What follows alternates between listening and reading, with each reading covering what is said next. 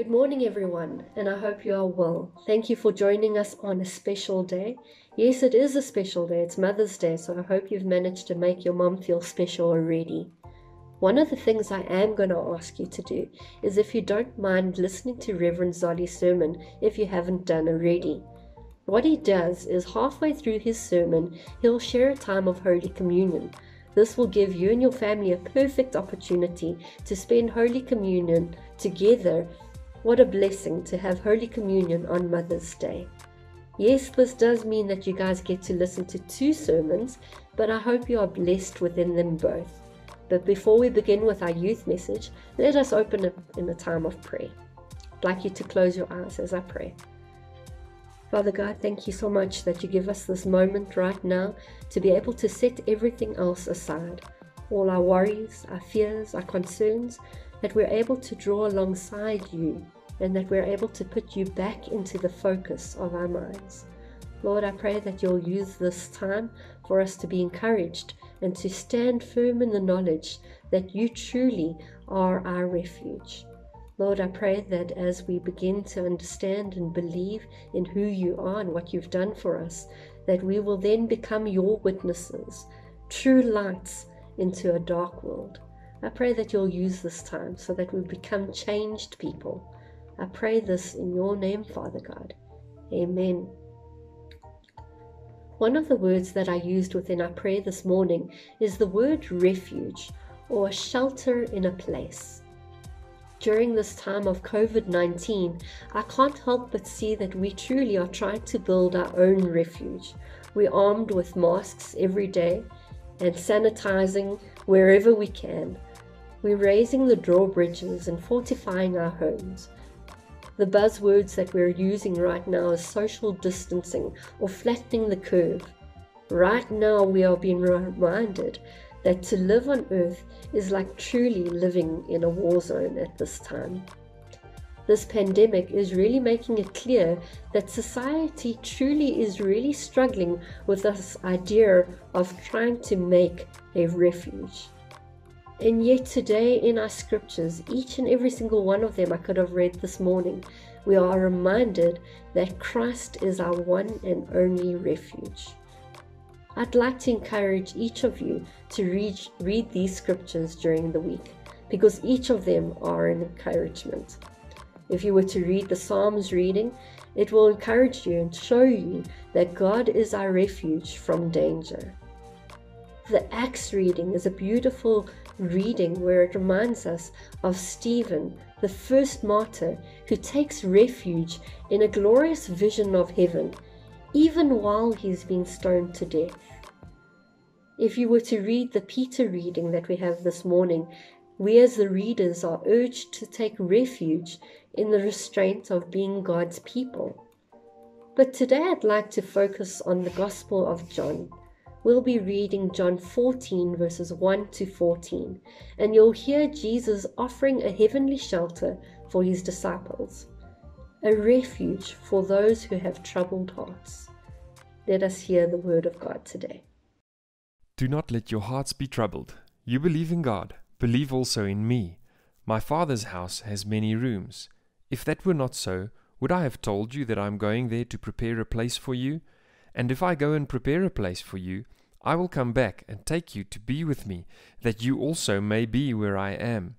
You know the way to the place where I am going. Thomas said to him, Lord, we don't know where you are going, so how can we know the way? Jesus answered, I am the way and the truth and the life. No one comes to the Father except through me. If you really know me, you will know my Father as well.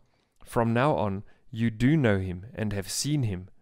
Philip said, Lord, show us the Father, and that will be enough for us. Jesus answered, Don't you know me, Philip, even after I have been among you such a long time? Anyone who has seen me has seen the Father. How can you say, Show us the Father?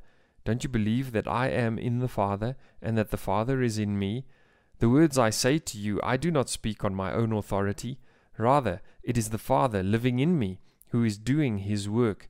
Believe me when I say that I am in the Father and the Father is in me, or at least believe on the evidence of the works themselves.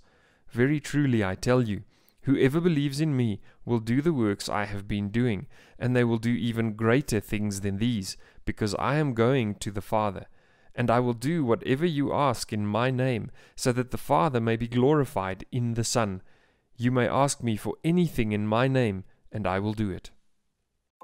Thank you so much, Charles. So I know a lot of you guys have been speaking about the fact that data has become an issue. So we are going to try and squeeze our youth messages into 20 minutes from now on. But this does mean that we're barely scratching the surface of the true message for each Sunday. Please engage with us afterwards on the WhatsApp group. Drop a question, drop your thoughts. We want to dig deeper into the scripture with you. So please engage with us after every message on a Sunday. With that being said, there are three points that I'd like to look at this morning. The first is I want to know or look at where was Jesus when he was saying what he was saying? The second is what was he saying to his disciples? Is there a deeper meaning to what he was sharing this morning? And the third and most important, I believe, is why do we need to know this? Why do we need to know the context? And why do we need to know if there's even a deeper meaning to the scriptures that we've read this morning? So let us look at the first point is where was Jesus when he said what he was saying? What is the context? You guys know that I love looking at the context of scripture. I believe that it is deeply important to understand what happened before and what happens after the scriptures we read. So today, if you look at chapter 13, you will see that it's actually a scripture that we read during the time of Easter building up to Good Friday, where Jesus washes his disciples' feet. He then predicts his portrayal, and then he moves on to predicting that Peter will deny him three times. Then we get our encouragement scripture this morning, and straight after the words of encouragement we read this morning, you will see that chapter 14 continues with Jesus promising the disciples a comforter, somebody that is going to come and stand alongside them, the Holy Spirit. So that is our context of our scriptures this morning. The second point is Is there a deeper meaning to our scriptures this morning? I know that most of you have attended a funeral before, and you might have even heard these words being recited at a funeral. They're often used to encourage those that have lost a loved one. Can I tell you today that these are not funeral words, but they're actually painting a picture of a wedding. Yes, you might be saying that that is strange Rox, this is not a wedding scripture, but I can tell you today it is. In my culture, for me and Charles, it was quite easy for us to get married. Charles only had to ask my dad if he could have my hand in marriage, and once he had overcome that hurdle, things seemed great, and we just needed to wait in a time of engagement. But that is not the same for Jewish culture, or much like our African cultures here in South Africa. What happens in a Jewish culture is there are far more steps to actually go through before one could actually be married to his wife. What would happen in a Jewish culture is that the husband or the husband to be would declare that he would want to be married to a young lady. And once he had declared that, he would have to go back to his father's house to prepare the bridal room. Can you see that that's ringing true in our scriptures this morning? Is Jesus says to his disciples, I am going to my father's house to prepare a room for you. There are many rooms. If it were not so, would I have told you this? I'm going to prepare this room for you so that you may be where I am. So, why is Jesus sharing wedding pictures with his disciples? And within the context, what is going on in the scripture? I can tell you that something deep is happening to this scripture this morning. Our context shows us that sandwiched between a message of pain, betrayal, and denial, there is a love so deep and great. Jesus shares that beautiful image of a wedding to show how deeply he loves his disciples. That sandwiched between that, he encourages his disciples. I want you to think of maybe Peter. We know who Peter is. Peter, we read in the context, context that just before what we've read this morning, he's told that he's going to deny Jesus three times. he must have been deeply hurt, cut deep to the heart. But within that message saying, You're going to let me down, Peter, Jesus is able to say, But I love you. If you think of Thomas, we have the privilege of knowing Thomas has a problem with doubt. But we can even begin to see that doubt this morning in our scriptures, where Thomas says, We don't know where you're going. He's struggling to believe. And in that pain of Jesus knowing a friend of his that he spent so much time with struggles to believe Jesus, he's still able to share with Thomas a great love. Or think of Philip. Philip says, Show us, show us, and then we'll understand. And Jesus says, But haven't you been with me? Haven't you seen? I am who I say I am. In that denial, that pain, that a friend does not see Jesus for who he is, Jesus is still able to say, But look at this great love I have for you. Today's scriptures, I believe, are powerful. It's a time that we're able to be reminded of God's love. And because of us being reminded of His love, we can be settled in that refuge, being comforted in the peace of God.